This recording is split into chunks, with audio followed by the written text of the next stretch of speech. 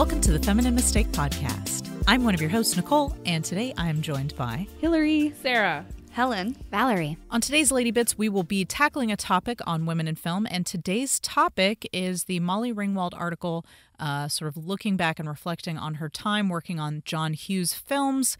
And uh, so we're going to be digging into that as well as some other uh, revisitations of sex scenes uh, that we saw uh, far too young. So enjoy uh, today's Lady Bits, and let's get into it. Oh, you men are all alike. Seven or eight quick ones, and you're off with the boys to boast and brag. You better keep your mouth shut. Uh, welcome to our Lady Bits episode. This is where we do a wild card topic on women in film, and today's topic is uh, the Molly Ringwald article about the bre- about revisiting the Breakfast Club and other John Hughes movies in the era of the Me Too movement. Have you guys heard of and or read this article? It's okay if you haven't. of it and have not read it. but I've heard Oh, of it. okay. Um, you guys, I waiting sent it to you guys. to it. Um, um, I thought this would be a good topic because I know you guys have seen a lot uh, because you guys watch a lot of romantic comedies, and uh, we grew up in the era of these movies, so I thought it would be a good topic. So basically, uh, just to summarize, especially if the audience hasn't um, read this article. Molly Ringwald, who starred, of course, in 16 Candles and The Breakfast Club and lots of other John Hughes movies, um, was kind of his muse in a way. Pretty in Pink, yes. Very much. Um, she recently wrote an article for the New York, the New Yorker. Sorry, this isn't the New York Times. It's the New Yorker, sort of reflecting back on some of those movies because she had watched The Breakfast Club with her daughter, 10 who was old. 10 years old. And um, in she, watching she it, does comment and say that it's a little young. I saw your face and no, like Yeah. no, I mean I watched it when I was younger than Okay. ten. Yeah. but I just, I just, I got excited because I knew it doesn't hold up very well for Yeah. a ten-year-old today. Yeah. Well, she so she was a little worried about it. Um, but the most, but what she, but her daughter didn't pick up on a lot of the sexual stuff, as most kids, it just kind of washes over them. But one thing that was a, a, a bit of an uncomfortable moment, and something that really bothered Molly Ringwald, was rewatching the scene where John Bender, the uh, played. God, what the fuck is that actor's name? I'm bl- totally drawing a blank. Um, oh, Judd um, Nelson. Judd Nelson. Judd Nelson's under the table hiding from the principal, and he looks up her skirt, mm-hmm. Mm-hmm.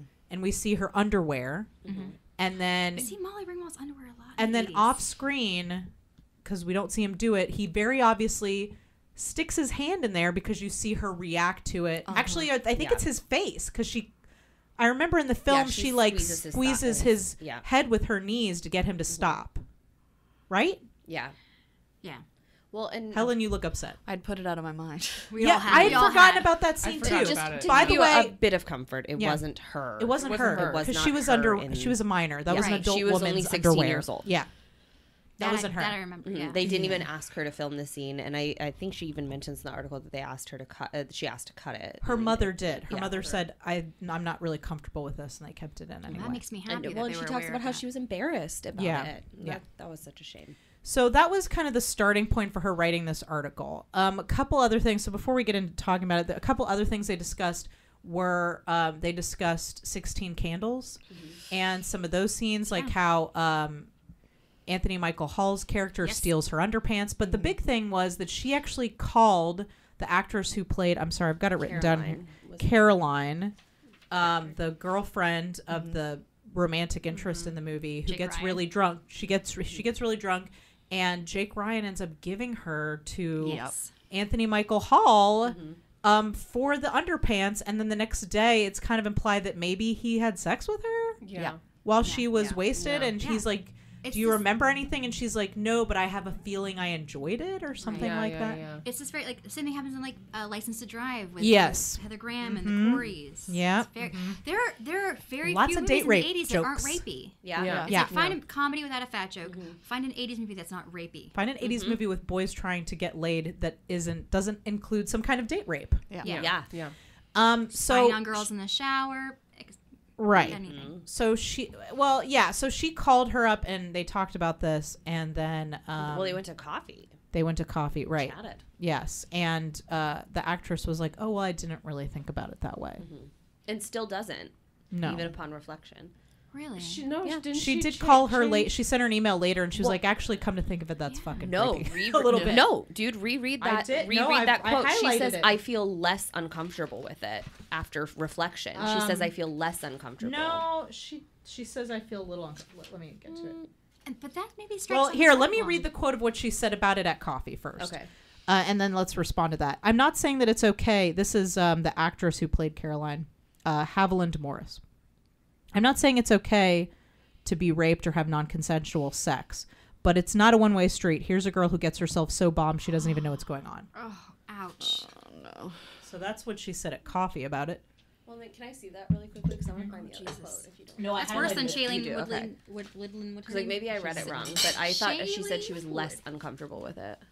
I think we all, I don't think there's much to discuss there. I think we all kind of look at that Yeah. as like a date rape. Yeah. Obviously, the actors playing it didn't see it that way. Mm. Again, we have to, and this is something that's discussed And in the article. would they though? Because we're told that that's normal. Right, and Exactly. it also wasn't a term I think that was uh, available to people at that time Right. either. It was you were a stupid girl. You were stupid. Yeah. You got you did something dumb. You let your guard down. Well, but Molly Ringwald even asked her too, like, how would you feel if it was your daughter? And she Oh, was yeah, just did ask like, she did say she was like, well, no, like I would, I would obviously not think that was okay. But she, Yeah. she was just like, I'm not going to make it black and white. She's yeah, like, it's not she a black there's and white a gray issue. area. Yeah. Um. So, it, uh, Is so that here's gray the quote. area named Bill Cosby? Because I didn't. Oh boy. Yeah. Well, that that's something that happened this week too. Well, hopefully he's going to jail, you What, guys. what what did she say after? Um, okay. Smug bastard he is. Later that night, I received another note. You know, she wrote, "The more I think of it this evening, oh, your note. The oddly, the less comfortable, the less uncomfortable I am with Less Caroline. uncomfortable. Wow, I read that mm-hmm. wrong. Yeah. You're right. that wrong She said. I'm, I'm less, less, and it's uncomfortable. fucking bold and in all mm-hmm. caps. yeah. The less uncomfortable I am with Caroline, Jake was disgusted with her and said he could viol- violate her 17 ways if he wanted to because she was so trashed, but he didn't. And then Ted, which I Oh, believe nice is the. John, Anthony Anthony, Michael Michael Hall's character, was the only one who had to ask if they had sex, which certainly doesn't demonstrate responsible behavior of either party, but also doesn't really spell date rape. On the other hand, she was basically traded for a pair of underwear. Ah, John Hughes. Yeah. Rest. I mean, this isn't a let's trash this actress No, party, not but all. And I mean, Well, you're let's try allowed. that's you're- fine. But let's trash her while But, we're here now. I'm just You're kidding. you're allowed to feel however you want about don't a role, feel good and I about think that. no, but I think that at the end of the article, like I think Molly Ringwald summarizes it really well. Like we have to like erasing the past is not okay, and Yeah. especially when you're an artist, Yes. you can't erase it. That's the whole point of it. But when you're in that sticky situation where you've helped to create the art, Yeah. and you now look back and you're like, that wasn't okay. Take responsibility. Yeah, how do you do it? And then and she has a moment in the article where she's like, I, I'm really proud of the work that I did and yet and yet and yet and yet and Right. yet and she just writes that Yeah. over and over again and I was like, I feel that way about some of the stuff I've done. yeah. But it is so human to to rationalize the wrong that you've done. Yeah, you don't want to uh, be to like reframe it I in was a a, way that character makes it that, feel made okay. date rape look Yeah. okay. Like you don't want to feel that about the character you played either. You know, so I get that. Well, and I I hate to kind of bash this other generation, but I, I feel like now we're coming into a movement of social justice and self responsibility mm-hmm. that where it's uh, uh, like I've had this happen before where people have called me out for something I've said on Twitter or on Instagram or yeah. something, and I have to take responsibility for it, and it's not mm-hmm. something that I can deflect on. And I, I try to do that and just be like, fuck, I did. I messed up. I'll try better next time. I've said time. a lot of dumb things. I've held a lot of shitty opinions. Like, yeah. And like I'm not perfect and nobody is and I think that we're moving into a space where like it is okay to be like, you know what? I did. I fucked up. I'm I Yeah. need to be better and next also, time. well, you're an actor. You don't have to. Like, you don't can have to say, agree "I was with every. You didn't write that. yeah, yeah. I was acting. I did what I was. Do you think supposed to Haviland Morris is going to go out for coffee with Molly Ringwald after this article? No, I doubt it. No, but I'm free. Call me, Molly. Um, I, now one thing we didn't get to, which way. is in here as well, Killing is it. that we have to also put things into perspective in the sense that this was the 1980s, and there weren't words like date rape, but also Mm-hmm. John Hughes. One of the things he's celebrated for is actually giving teenager stories, and actually, to be honest, giving female protagonists, like young Yeah. teenage female protagonists, a story Mm-hmm. and depth, which is something that did not exist in a world of Porky's and Right. Animal House. But after like reading what he wrote, like Well, those were National Lampoon articles, and that was the style of Yeah. that. But it makes me wonder, like, how much book. of it was him, Or not like, comic book, like but- innocently thinking she was this muse and like wanting to like have a strong female character and how much of it was him like se- se- sexualizing her and Maybe When they began working Maybe. together, she was 14. Yeah. Like she was in ninth I grade when she that's did weird. 16 Isn't that Candles. weird that an adult man is like I want to write films about you like Well, I don't know what the I conversation was, but I think he really. I mean, I don't know. I mean, that's a fair question. I do think that he was writing female characters at a time and uh, potentially um, gay characters because Mm-hmm. Yeah. Ducky. Yeah. Um, and and the, was they based talk on a about gay man. yeah they talk about the in this article that Ducky people was have come supposed up to wind up with Molly Ringwald's character in Sixteen Candles. right Pretty in I- Pink. yeah I'm pretty in pink. pretty in pink What's yes. wrong with me? I've There's never, too many movies. I've never actually seen Pretty in Pink. but he wrote three films for her like Right. specifically for I don't this think No, I- 14, He did never 15, deny she wasn't 16 -year-old amused Well, he didn't write Breakfast yeah. Club for her. no no no he, that he may have but he may have written that part for her but he, not 16 can, can 16 Candles was Oh. written for her because he And said for- for I Pretty in Pink, I too. saw Okay. her he saw her headshot Oh. and wrote a movie based on what he thought Oh. that girl was. I'm just in saying, the like, that's weird. article is what she says. I I That's I- interesting and disturbing. It I see what you're saying But I I see also- what you're saying I, I mean, headshots aren't an essence of who you are either. Like as an actor, when you go to take a headshot, it's not that's not who I am. It's who the I feel like I can play, you know, and it's. Yeah. who I'm putting out into the world and saying this is who I want to be. Although. I do on think screen. the best headshots do capture a person's essence. I agree, but like it's it's not necessarily exactly who you are Yeah. or anything like that. So I I don't know. I I try not to think about it as like super creepy. I mean, it's a fair point. Like this is a grown man writing stuff, but Yeah. but Mm-hmm. I feel like for the most part, at least with her character, most of that stuff that he wrote for her was pretty innocent. Like it Yeah. wasn't Mm-hmm. aside from this nonsense with the this stuff. Some of the stuff in the Breakfast Club is not, but. I don't remember the shooting of it ever being super like over sexualizing her as a character. Even the very disturbing shot of John Bender looking at her underwear was not it there was it, It was shot memorable. in a very well it was shot in very I would say unglamorous POV shot. Yeah. It Yeah. wasn't made to look like it mm-hmm. wasn't soft focus. It wasn't lit in a particularly particularly lusty way. So I'm not I'm not trying to say that there isn't something problematic about this, but what I'm saying is I don't I didn't get sexual attraction from the parts that he wrote for her. Mm-hmm. I, I I think that there are clearly I think we can see a problem with the way we see masculinity and boys and sexuality that is left over from ha- how his generation felt about young girls. Like that is clearly clearly a problem. Mm-hmm. But also people weren't writing stuff like Pretty in Pink and and and before him. Like there weren't characters like that. Like teenage girls were somebody you were trying to like get their panties it's the off. Joss Whedon problem. Mm-hmm. Like he mm-hmm. did such good, yeah. but he also did a little bit of bad. Yeah. And, like, yeah. Yeah. like he's an imp- he, he's important. Yeah. What he did was important. B- But was he perfect? No. And and how to compartmentalize that? And is this like do we escalate this? Is it Co- is it a Cosby problem? I don't think it's a Cosby problem, but it's There are no something worth- allegations about him like that, at. but I mean it's a fair point to ask like I'd be so sad if there were allegations about that. I mean, Like, I remember where we were when John Hughes died. We were in the car with our mother and our sister. In Mm-hmm. yeah, I Kalamazoo. loved those movies. We got the push notification. We were driving in the snow, Yeah. and we it was very silent in the car. We all took the a whole moment. family. We just I mourned him I've at once. Seen those three films too, and I watched them when I was a kid, and I remember being uncomfortable at the at both of the underwear things. in- Yeah. Yeah, the in- hit- in- taking the in- underwears. in, in in those films, and I did feel like she was like the hot girl in those mm-hmm. films. Like I did, like as a Really? kid, I was like, she is. Oh, I thought she was the dork. I thought she I was identified the with dork. her so much no, 'cause she was I, I the dork. think that I, t- in in my time, like she was looked at as the unusual, dorky looking. Like nobody, they never had like girls with red, short red hair in those Mm-hmm. movies. Like that, that wasn't a beauty ideal, and so it was unusual to have somebody like her as the main character when this these films came out. Well, I think it I was felt that way very unusual. Breakfast Club that she was like the cool, popular, pretty Yeah. girl. But I, I haven't seen Pretty in Pink, but I've seen Sixteen Candles, and like when I saw Sixteen Candles, like that movie, I because I was like angsty teen, upset with my Yeah. family, and that movie just like broke my fucking heart. Just because like Yeah. just the whole premise of somebody forgetting your birthday, you know. And I think I was maybe like 13, 14 when I saw we haven't it, even covered like, the racism like Yeah, the, oh my that exists. yeah.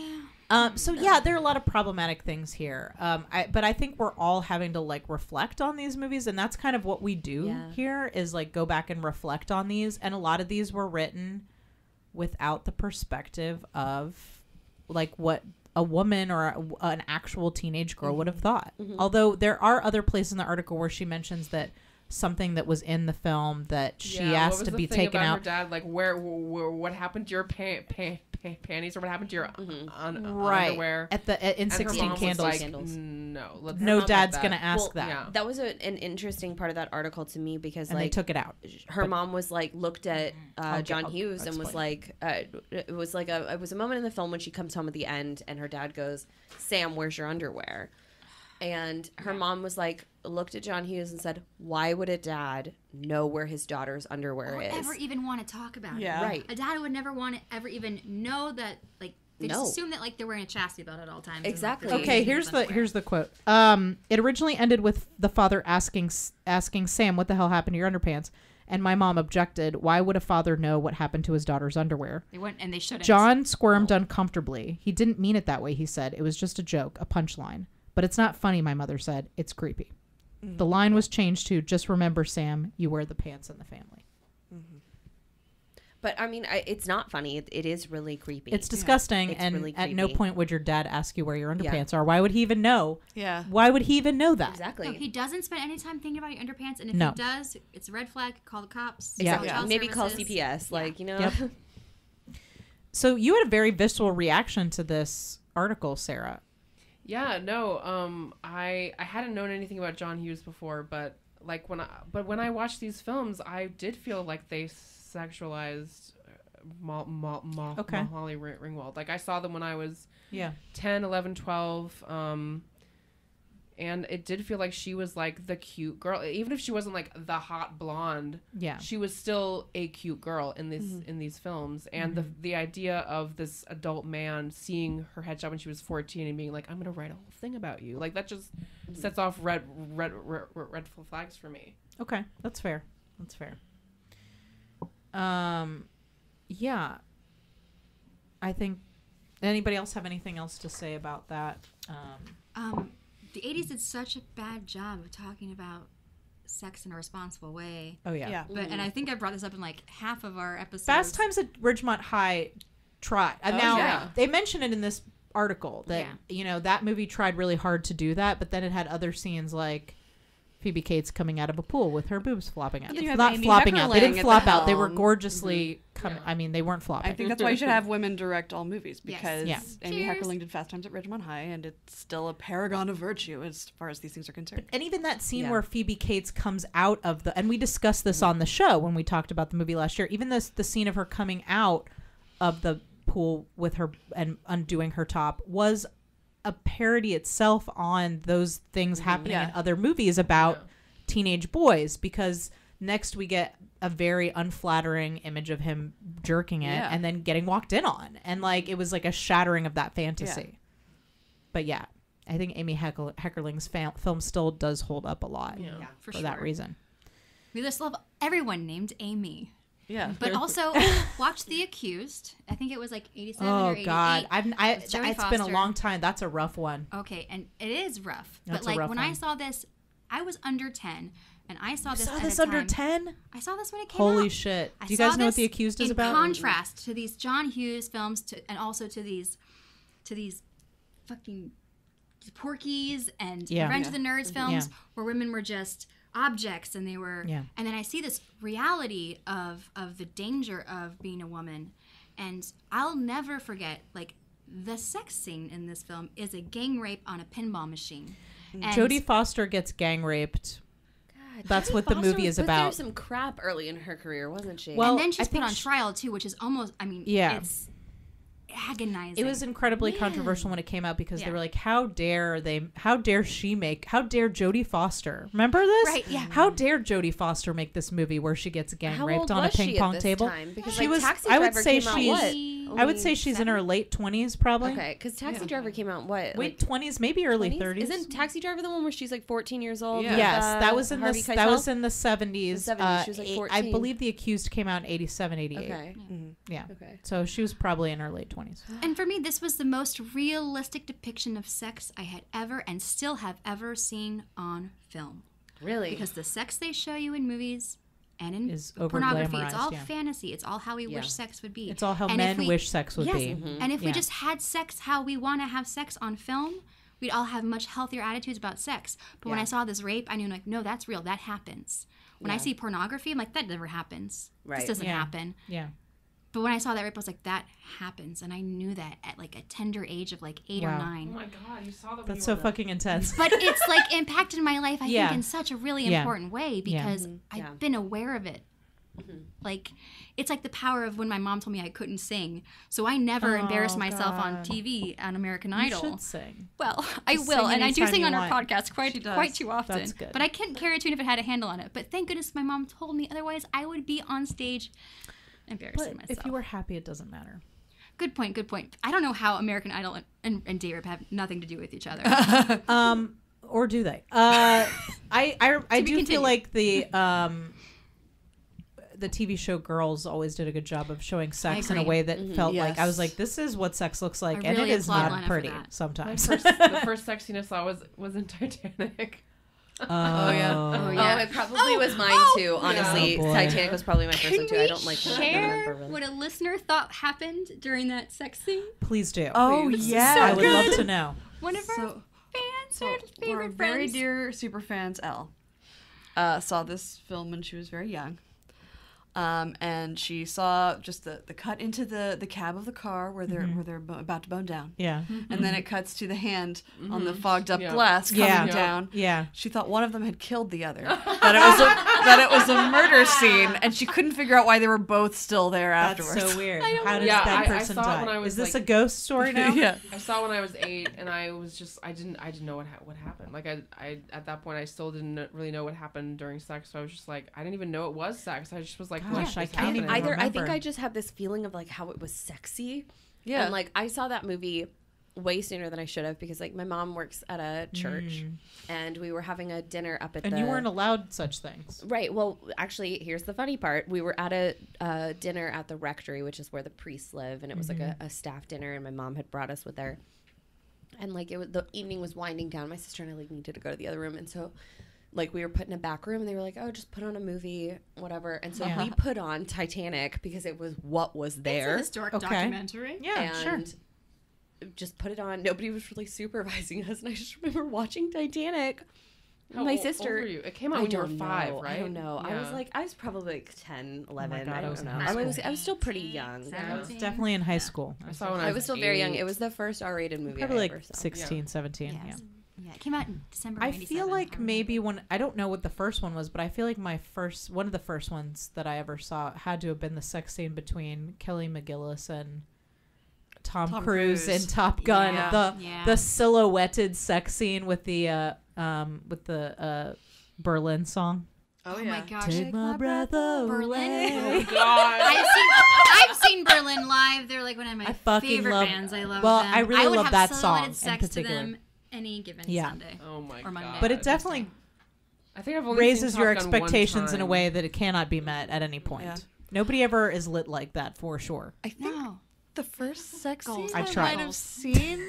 the first sex scene I might have seen was I think in Rocky Horror Picture Show. Oh, okay. Speaking of silhouetted Okay. sex, Yeah. Okay. That's okay. a really fun silhouette. Yeah. Okay. That's a Okay. fun sex but I also scene, remember though. I was like, we'll say six years old. This is about Okay. to get Yeah. uncomfortable. We'll say Okay. six years old. Well, it's accidental. and It's we have the scene of Susan Sarandon singing "Touch a Touch a Touch a Touch Me," Yeah. and uh, it's just you know Rocky putting his hands on her beautiful Susan Sarandon breasts. My Yeah. God. Yeah. Yeah. And uh, it's the first time I remember getting a tingle.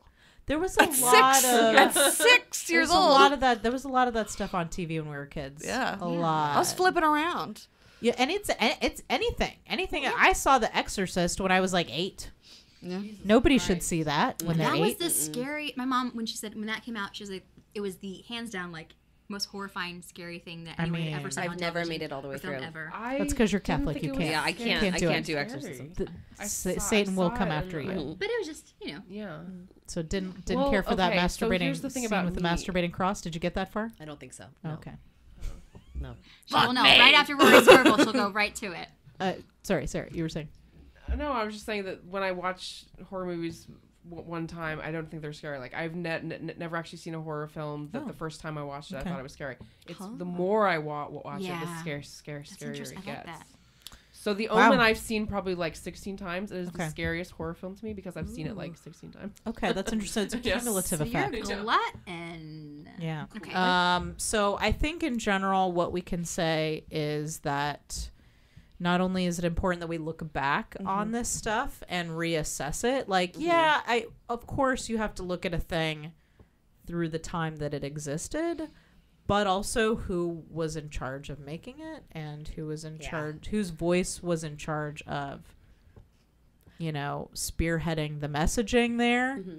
Uh, Yeah. and that's a thing that we're all that we're doing by doing these podcasts and i think that it it's was not. Mo- Molly R- Ringwald's or Haviland Morris's responsibility to have. I don't know. They were too young. You But I know. do Yeah. think she had an interesting amount of control over it because she mentions She in the. Breakfast Club how there was originally a scene in it where the very attractive gym teacher Mm-hmm. was swimming nude in the pool and the Ah, principal was watching her swim like from a voyeuristic perspective. Yeah i remember. And she went to John Hughes and was like no cut the scene. And they cut the scene cut the actress everything and uh, she Also, mentions like when in the hell would that ever happen? can't I imagine.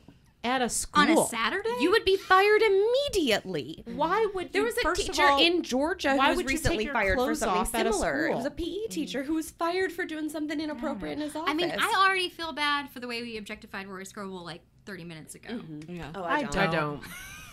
i don't he's i mean I I'm feel like sh- it still wasn't even half as bad as what we get every day. good That's for- or that's for sure. also s- I'm still allowed to Call say me someone's Rory. attractive and not Call me. be Call me. objectifying them. um i also feel like we've done much worse yeah. Oh, definitely Yeah. have. Definitely Yeah, have. Oh, think I know I have. I think we've certainly Yep. uh, spent a lot of time talking about Kurt Russell, Patrick Swayze. Patrick Swayze's gyrating Damn it.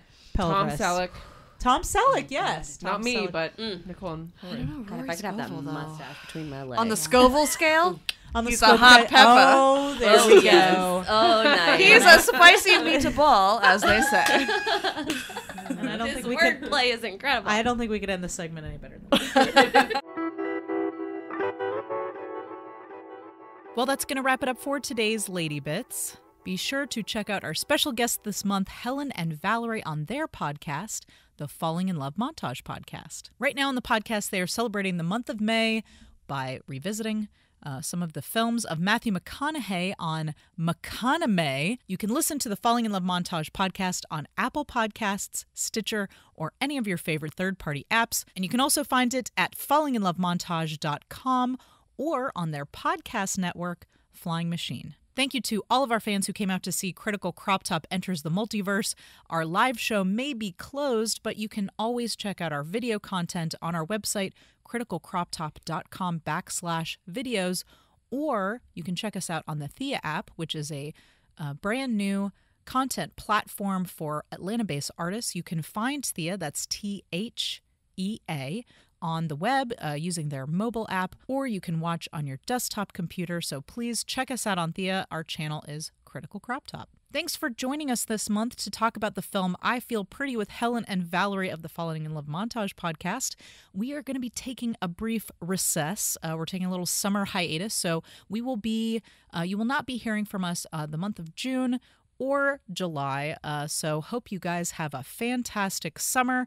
And uh, you can, of course, always continue the conversation with us on our social media. We're at Feminine Mistake Pod on Facebook and Instagram, and you can find us on Twitter at Fem Mistake Pod. I know you guys have been collecting those nervous breakdowns that you want us to read on the show, so please send that or any of your summer love letters to us at feminine mistake podcast at gmail.com.